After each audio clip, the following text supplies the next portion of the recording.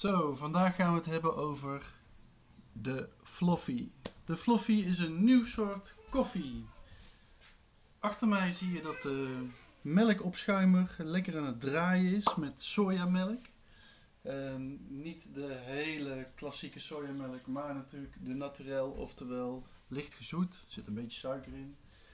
Ehm, verder heb ik hier Premium Lavazza, lekkere oploskoffie. Eh, daarvan gaan we zo meteen één klein schepje gebruiken. En als je zegt van ik hou van iets zoeter, dan pak je nog wat eh, stevia erbij. Natuurlijk. De melkopschuimer is bezig op het eh, maximum voor twee koppen.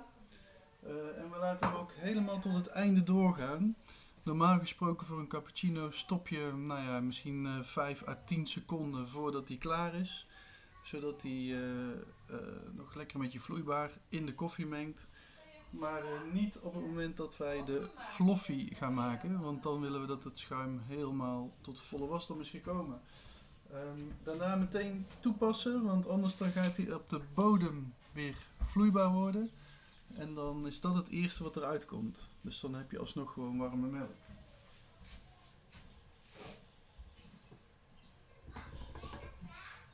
Gaat lekker. We zijn bijna klaar met het eh, melk opschuimen. Hij is klaar. Ik gooi twee glazen vol.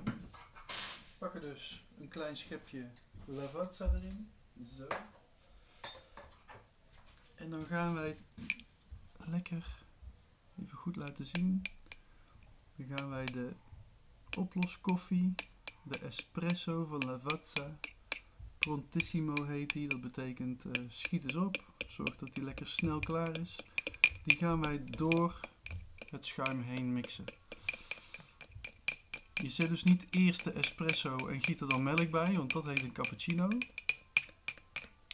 Maar je zorgt eigenlijk dat het melkschuim van de sojamelk een lichtbruin kleurtje krijgt en dat die van top tot teen fluffy is. Zie je, je ziet geen laagjes. Het is gewoon één groot glas fluffy. Ehm, het smaakt een beetje als een koffie milkshake, maar dan warm. Heerlijk. Omdat je zo hebt geroerd om de espresso op te lossen, is die ook direct op temperatuur. Dus je kan meteen beginnen. Proost. Mm. Dus dit is niet een fluffy, maar de fluffy.